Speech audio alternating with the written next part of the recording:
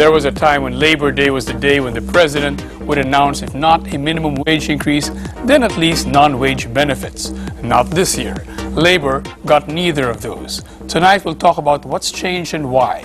It has something to do with the country needing to be more competitive for work and investments. But are the government and the private sector doing what needs to be done to become competitive and win the jobs that will lead to higher pay? And what can workers count on before we get to that promised land? Good evening. I'm Coco Alquas. This is Inside Business.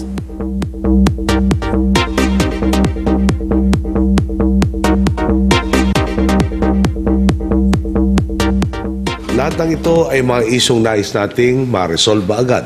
Pero hindi ito madadaan kung makikipagbulan lang po kami o mamumulitika.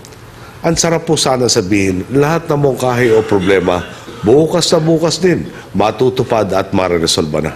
Subalit pag, kapag ginawa namin ito, hindi lang kayo ang lang namin, kundi mo maging ang buong bayan at pati na ang sarili namin. With us tonight, former Labor Secretary Bienvenido Laguesma and International Labor Organization Philippine Director Lawrence Jeff Johnson. Good evening, gentlemen. Thank you very much for joining us. Good evening. Jeff, Good evening, you, good evening, sir.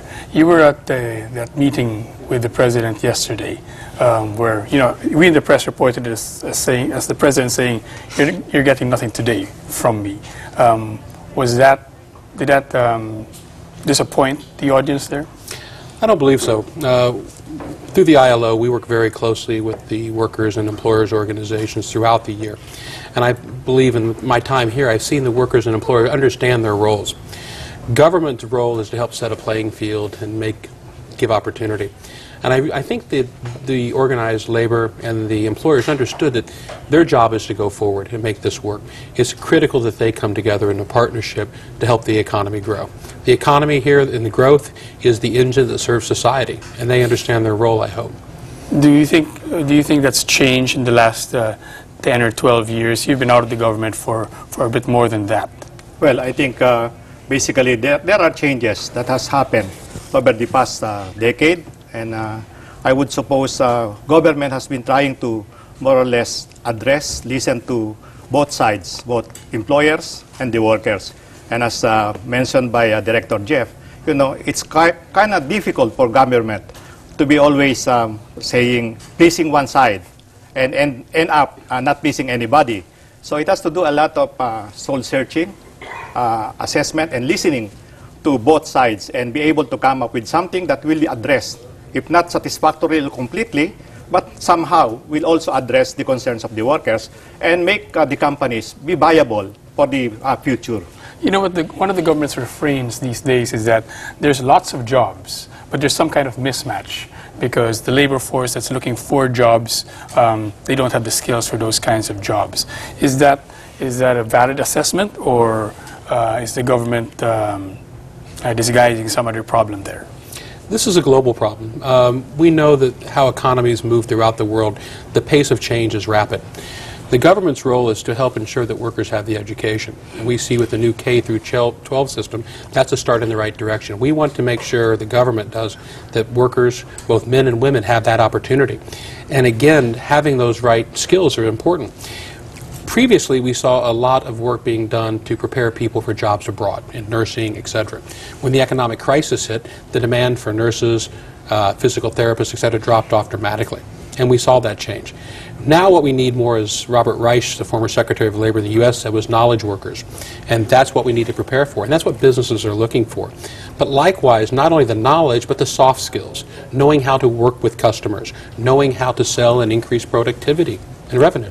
Here's the formula that's, that's been proposed. We need to make the Philippines competitive, have a labor force that can, that can perform jobs in a productive way in order to create more jobs, rather than just raise minimum wages. Yes, I think uh, uh, the solution should not always be trying to increase the minimum, but try to make the workers uh, uh be skillful. They should be able to uh, actually adapt to the new, uh, new schemes or the new processes at the work site this issue on uh, mismatch has not has been there uh, even when I was still young in the Department of Labor and Employment. Before, before BPOs. Yes, before BPOs, yes. Uh, th- that issue has been there, uh, mismatches, but I suppose uh, there is also a need for us uh, to look at training our workers for the needs of the Philippines. Okay, when you talk about productivity, a lot of it relies on education and training. Yes. Where are we there?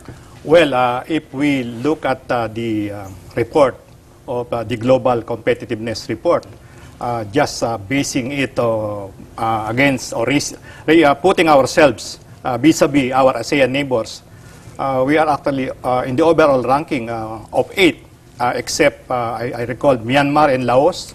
I think we are number six overall in the ranking. Uh, so it looks like uh, Meaning, if an investor wanted to put money in a certain country, he's going to get more out of those other five countries Yes, as opposed to the Philippines. Yes, uh, looks like uh, that would be the uh, basic uh, conclusion that we'll get. But I, I suppose government uh, has been doing also its share. In fact, uh, before you only have National Wages Council uh, and the National Productivity Council was separate.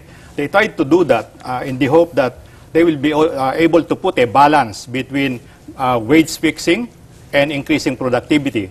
Uh, I do hope uh, government, uh, the Department of Labor and Employment, where I came from for, 30, pa- uh, for 25 years, should be able to also have more focus on productivity because productivity can spell actually the difference in providing better terms and conditions of employment for our workers. Jeff, what countries have done this well, and what can the Philippines do or, or mimic in terms of that? I think we have to put this in context. Uh, for more than 15, 16 years, I've been looking at productivity around the world uh, in my previous job. The issue that we're seeing here is the productivity growth rates and then the levels. The levels here in the Philippines are comparable, but what's concerning is what we call the growth rates, how fast they're moving. We know countries like Myanmar, Cambodia, Vietnam have seen significant rates in productivity, but are they on par with the Philippines? Not yet. The question that we face, again, government needs is looking at the issues of minimum wages and productivity, and that's a good thing to look at.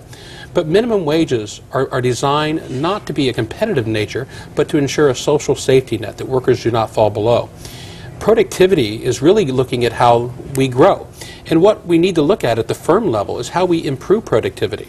And we do that through the combination of both capital and labor. So management and labor have to come together. But what we need to look at is the firm level. Those companies that can be pr- productive over the medium and long term. That's sustainable. That will have the greatest impact on poverty alleviation and sustainable growth for the country here in the, uh, per se. It's not about those short-term profitabilities. We know that's a challenge. We, we've had recent discussions about jobless growth here, 7, 8% economic growth. We know countries in China have had 10, 11%. The issue is how do we get growth at that level, but we do it through decent and productive employment, which will be sustainable. And that's where we have to look at productivity. The Philippines can compete and does compete, but we need to look at how we can do better. Jeff seems to be saying that uh, it's um, a lot of it's the job of the employer and the and the, and the workers. Um, does, what what role does the government have there, or is it really something that the the, the company and the employees have to take the lead in? actually government has to do a lot of uh, laying uh, the policies and then uh, make sure that the implementers actually uh, are quite uh, adept in implementing these policies, uh, not change the rules uh, in the middle of the ball game, and uh, leave uh, workers and uh, the, company, uh, the companies or the employers to be able to uh, strike a balance between the concerns of the workers and the employer's uh, desire to be able to have uh, productivity so that they can share gains, be able to be, uh, be very viable, and uh, stay longer uh, in the field. What kinds of rules have been changed in the middle of the game? Well, I, I cannot uh, e- exactly tell you now. Uh, like uh, when you when you do come up with minimum wages in the middle of the calendar year, and it was not planned, you know, something that will offset the planning of the uh, the uh, company uh, for the year. Then that's something that has to be also in sync. Uh, which means you have to have some predictability, uh, predictability, uh, predictability uh, so that management will be able to plan. There was a time that you know you do uh, business on a day-to-day basis, so somehow that that gives some uh, uneasiness, and uh, not just on the part of the employers, but also on the part of the workers because they, they do not know whether they will still have job today, and then tomorrow uh, what will be next. Gentlemen, what do you think is the biggest strength of the Philippine workforce, and then what's the biggest weakness? I've been in the country for three years, but in and out for more than 12. I've worked with Filipino workers around the world. I think their heart, their passion, their ingenuity is there. I think the biggest weakness, as I've said before, is we need to ensure that we, ha- we match up skills. We help workers understand how to be productive. The challenge that we face right now in the Philippines is one of vulnerable employment. We have roughly 39% of the workers vulnerably employed. They lack any type of social protection, social safety net. Even the relationship of being employer and employee is somewhat tenuous. These are so-called own account employees and also family Paid employees. family workers. Right. Uh, own account workers, and unpaid family workers. These are measured within the MDGs. And again, we talk about reducing poverty by half by 2015 in the MDGs. This is one of the critical ways of doing it. We know that women and men need to engage productively within the labor market. Some of the challenge we see in terms of productivity is how we get them to engage. Simple things like health in the workplace, ensuring that yeah, maternal health is there, breastfeeding in the workplace that reduces absentee, absenteeism. These things all affect productivity and can have a lasting impact. The challenge that I see here is we need to get workers and employers coming together at the firm level, looking at productivity and how they can serve the society here in the Philippines. What do you think is the greatest strength and the greatest weakness of the Philippine labor force? Well, uh, the Philippine labor force are trainable. They are committed. I just think that uh, they should uh, be doing the same things. Uh, their sa- the same attitude, the same passion when they are working abroad, and uh, they should be more aggressive Why- you know, I've, and I've, uh, very, you know. I've, I've heard that my whole life. Why do you think that is? Well, well, well somehow, uh, you, you know, uh, your working environment uh, is also contributing, uh, contributory to that kind of an attitude. Uh, you know, we are clanny. Some, somehow, even in the work uh, workplaces, uh, this uh, uh, thing like uh, padrino, padrino system. Uh, not everybody actually uh, would like to uh, more or less work harder than the others if uh, they will be receiving the same pay. But elsewhere, elsewhere, know, if they can just be as uh, you know industrious, as hardworking, and as committed as when they do uh, work uh, outside of the Philippines, I would I would say that will spell a very big difference in increasing productivity, in improving labor management relations, and trying to make sure that the employment would really be more or less permanent in a sense. Hold that thought, Jeff. We're going to take a short break, more inside business. When we come back, stay with us.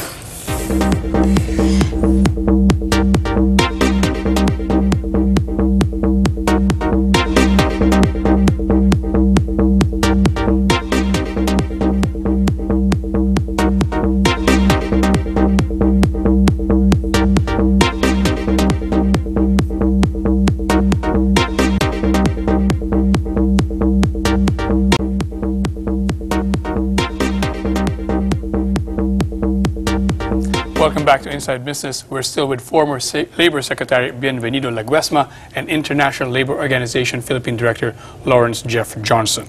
Gentlemen, let's talk about contractualization. Very sensitive topic in this country. Jeff, you were telling me a while ago that from your own experience, it's a bit of a bigger issue here than in some other, in many other countries. Contractualization is something we see worldwide, uh, and it's something we've seen more and more of since the economic crisis began in 2007. I see a lot of it here. And again, there are times that I understand businesses need for it when we have seasonal peaks that we need extra labor to come in and help in manufacturing within the service sector. And these are valid reasons, and the system allows for it. But when companies engage in the 5 by 5 plan, where they hire somebody for five months, lay them off, and then move on, they're hurting themselves as a business, and they're hurting the community, and they're hurting the labor. Because we know for a fact, as we were just speaking about productivity, with tenure, and ex- comes experience. With experience comes higher productivity. How often have we been in stores, all of us, where we walk in and we hear hello, hello, hello 12, 14 times as we walk through? But the minute we get up to a product and we start asking the question, there's no knowledge. Now, whose fault is that? Is it the fault of the laborer we're speaking of? Or is it the business? I say it's a combination of the two. Businesses need to invest in training their labor on product knowledge and good customer service so they can increase productivity, increase sales. And you only do that through investing over time. the people who own these businesses are smart people. I think they would see if, if they need if they needed to invest that kind of money in training that they would do it. Somehow to them it doesn't seem to matter. Why is that? No, I, I don't think uh, it matters to them. You know, uh, it's always uh, at the end of the day, you look at uh, cost. No, uh, but uh, personally, I look at training as an investment.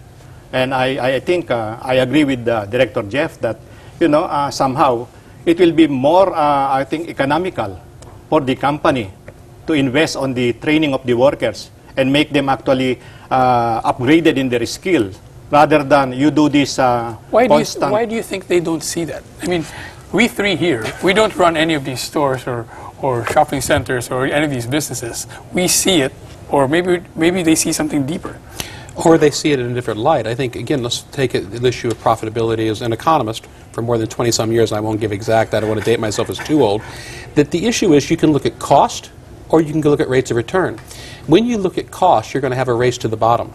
A simple ex- analogy, if you can pay somebody $100 and get a $12 return, would you do that, or would you pay somebody $10 and get a $1 return? So some labor groups are saying, hey, let's help out these capitalists. Let's, let's uh, make security of tenure a law.